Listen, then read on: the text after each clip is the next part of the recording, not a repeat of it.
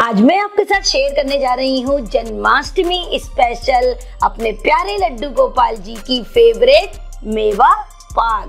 तो उन्हीं का प्रिय मेवा पाग आज हम बिल्कुल आसान तरीके से स्टेप बाय स्टेप और परफेक्ट रेशो के साथ मैं आपको बताऊँगी, जिससे कि आपका पाग भी बिल्कुल परफेक्ट एकदम स्वादिष्ट बने जो मुँह में घुल जाए। और इस मेवा पाक की खास बात ये होती है कि इसे आप महीने भर रख सकते हैं, बिल्कुल खराब नहीं होता। बिना मावा, बिना मिल्क पाउडर बिना कंडेंस मिल्क एकदम शुद्ध, सरल तरीके से। तो चलिए शुरू करते हैं।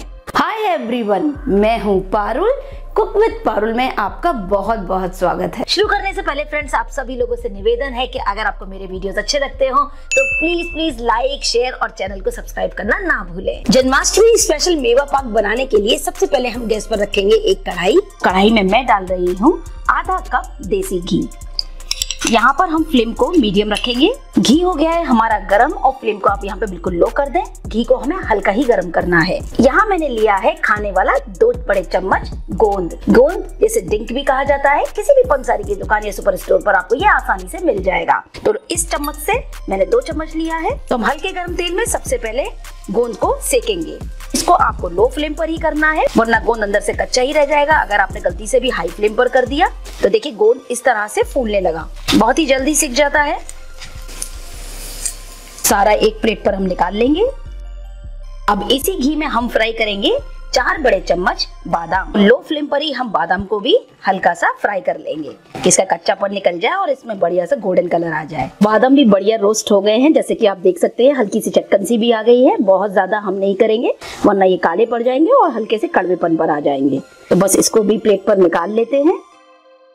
और ये मैंने लिए हैं चार बड़े चम्मच काजू। हल्का सा गोल्डन होने तक बस। फ्लेम को यहाँ मैंने लो ही रखा है। भुने हुए ड्राई फ्रूट्स का स्वाद अपना अलग ही आता है। तो ये जो मेवा पाक यानी मेवा बर्फ़ी हम बना रहे हैं, इसमें ये बहुत ही स्वादिष्ट लगते हैं। और काजू भी हल्के से गुलाबी बन आ गए हैं। इनको भी निकाल लेते हैं। बहुत ज़्यादा बिल्कुल नहीं रोस्ट करेंगे। इसी घी में हम फ्राई करेंगे मखाने। यहाँ मैंने मखाने लिए हैं एक कप जिसको आप लोटस सीड्स भी कहते हैं। बहुत ही हेल्दी और खाने में भी ये बहुत ही स्वादिष्ट लगते हैं। लो फ्लेम पर इसको भी हल्का सा सेक लेंगे इस तरह से। मखाने भी हमारे बढ़िया से भुन गए हैं तो इसको भी निकाल लेते हैं। अब उसी बचे हुए घी में हम फ्राई करेंगे मेलन सीड्स यानी कि खरबूजे के बीज, जिसे हम मिंगी भी बोलते हैं। तो ये मैंने ली है आधा कप। ये भी इन दिनों आपको आसानी से किसी भी ग्रोसरी स्टोर पर मिल जाएगी। फ्लेम को यहाँ थोड़ा सा मीडियम कर देंगे और खरबूजे के बीज को भी बिल्कुल इसी तरीके से भूनेंगे। बिल्कुल इस तरह से आपको हल्की सी आवाज़ आएगी इनके चटकने की। इसका मतलब खरबूजे के बीज बढ़िया भुन रहे हैं। सभी चीज़ें लो फ्लेम पर कर रहे थे, इसके लिए हल्का गर्म चाहिए। और इसी स्टेज पर हम इसमें डाल देंगे, जब ये चटकने लगे इस तरह से, एक कप सूखा नारियल, जिसको मैंने कद्दूकस कर लिया है। तो इस एक कप सूखे नारियल को भी इसी में डाल देंगे और साथ ही इसके साथ भून लेंगे।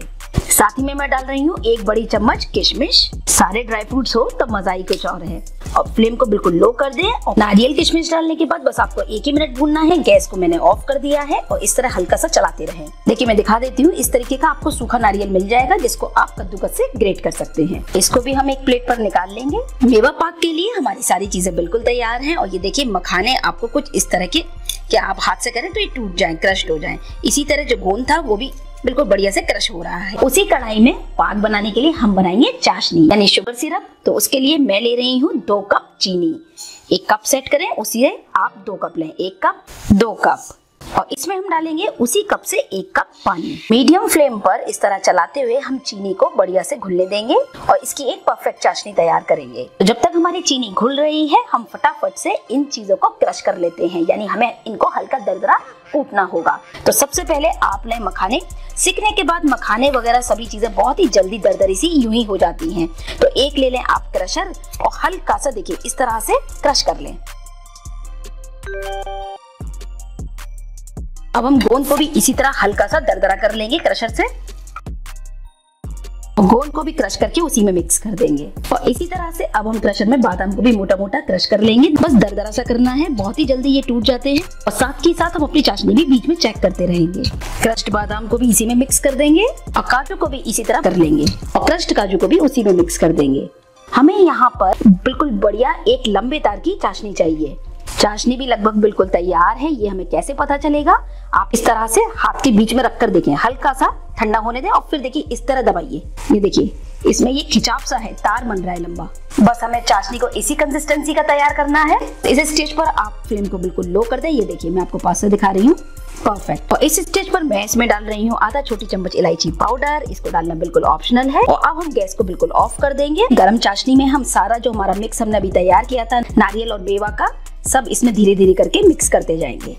इसे बनाना बहुत ही आसान है और ये इतना स्वादिष्ट होता है। खास बात इस पाक की ये है, घर में सभी को पसंद आता है। और अगर आपके बच्चे कहीं बाहर रहते हैं तो आप उनको ये मिठाई भिजवा सकते हैं, क्योंकि ये एक महीने भी खराब नहीं होती। अब आप एक मिनट के लिए गैस को ऑन करें और फ्लेम को बिल्कुल लो कर दें और लो फ्लेम पर बस अच्छे से मिक्स होने तक इसको चला लें। ये देखिए, किस तरह से इसने कढ़ाई को छोड़ना भी शुरू कर दिया। तो बस एक ही मिनट हमें इस तरह से मिक्स करना है तो मैं गैस को ऑफ़ कर देती हूँ। अब आप लें मेवा पाक, यानी मेवा कतली जमाने के लिए एक स्टील की प्लेट थोड़े से घी से उसको हम कर लेंगे पूरा चिकना, यानी ग्रीस मेवा पाक को हम इस तरह से पूरा अपनी ग्रीस्ड थाली पर निकाल लेंगे। और अब हम जल्दी से इसको इस तरह से थाली पर फैलाएँगे। तो ये लीजिए, मैंने इस तरह से इसको बढ़िया से थाली में सेट कर लिया है और जल्दी से मैं इसको थोड़ा सा गार्निश कर रही हूँ। ग्रेटेड पिस्ता से पिस्ता को मैंने इस तरह से बारीक कद्दूकस कर लिया है। इसे लुकिंग बहुत सुंदर आती है। इसको डालना बिल्कुल ऑप्शनल है। और ये देखिए, हमारा मेवा पाक, यानी ड्राई फ्रूट्स बर्फ़ी कितनी सुंदर लग रही है। और जब ये हल्का सा ठंडा हो जाए, तब आप एक चाकू की मदद से इस तरह से जिस भी साइज़ की आप कट करना चाहते हैं इसमें मार्क लगा दें, जिससे कि जमने के बाद हम आसानी से कतली को निकाल पाए। तो मैंने इसको यहाँ से इस तरह से कट कर लिया है। तो मैं इसको स्क्वायर पीसेस में कर लेती हूँ। ये देखिए, मैंने इसको स्क्वायर पीसेस में कट कर लिया है ये कितनी सुंदर लग रही है। अब इसको थोड़ी देर इसी तरह सेट होने देंगे, उसके बाद हम इसको सर्व करेंगे। बहुत ही जल्दी ये सेट हो जाती है फ्रिज में रखने की आपको आवश्यकता नहीं है। और ये लीजिए, मेवा पाक बिल्कुल बढ़िया से सेट हो गया है। इतना टेस्टी है कि बनाते बनाते वक्त तक आपको मन कर जाएगा कि थोड़ा सा खा लें। इसको निकालने के लिए गैस ऑन कर कर बस हल्का सा आप इस तरह से इसको गरमाई देते हुए घुमा लें। बहुत ही आसानी से ये फिर निकल जाएगा। हल्का सा प्लेट को गर्म करने के बाद आप एक चाकू की मदद से थोड़ा पहले साइड का पोर्शन अलग कर लें। परफेक्ट ये देखिए कितना बढ़िया हमारा मेवा पाक जमा है। एकदम शेप में निकल आया। ये देखिए कितना परफेक्ट बना है। ऐसा नहीं है कि बहुत ज़्यादा बिखरा बिखरा बना है या हमने बहुत ज़्यादा हार्ड कर दिया। एकदम परफेक्ट कंसिस्टेंसी अब कितना अच्छा लग रहा है। खाने में तो ये है ही टेस्टी और बहुत ही ज़्यादा हेल्दी भी। तो इसी तरह से हम सारे बाकी के पीसेस को भी अलग कर लेंगे धीरे धीरे देखिए हमने हल्का गर्म किया था ना तो देखिए कितनी आसानी से एक एक पीस निकलते जा रहा है। ये देखिए। बहुत ही बढ़िया। आप देख सकते हैं कि कितना अच्छा इसका टेक्सचर और कितना बढ़िया ये लग रहा है। तो सोचिए खाने में कितना स्वादिष्ट होगा। तो सभी पीसेस को इसी तरह से अलग कर लेंगे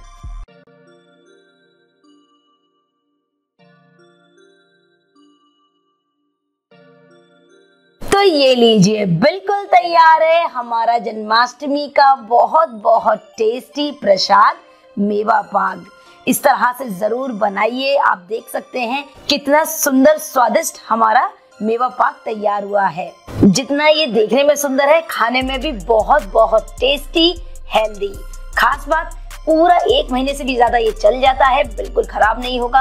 अगर आप कोई मिठाई बाहर भेजना चाहते हैं, अपने बच्चों के पास भेजना चाहते हैं तो बिल्कुल परफेक्ट मिठाई है, क्योंकि ये जल्दी बिल्कुल खराब नहीं होती। खाने में बहुत ही टेस्टी लगती है, सबको पसंद आती है। और हमारे प्यारे लड्डू गोपाल जी की तो सबसे फेवरेट है। तो आप जन्माष्टमी पर इसे ज़रूर बनाएँ और मुझे ज़रूर बताएँ अपने प्यारे प्यारे कमेंट्स में कि ये स्पेशल मेवा पाक आपको कैसा लगा। उम्मीद करती हूँ वीडियो आपको पसंद आया होगा। अगर आपको वीडियो अच्छा लगा है फ्रेंड्स तो प्लीज़ प्लीज़ प्लीज़ ढेर सारे लाइक कीजिए। सभी फैमिली फ्रेंड सोशल साइट्स पर शेयर करें और मेरे चैनल को सब्सक्राइब करना ना भूलें। और इसी तरह अपना प्यार मुझे इंस्टाग्राम फेसबुक पर भी ज़रूर दें। सभी रेसिपीज़ की डिटेल्स आप मेरी website cook with Parul dot com पर देख सकते हैं।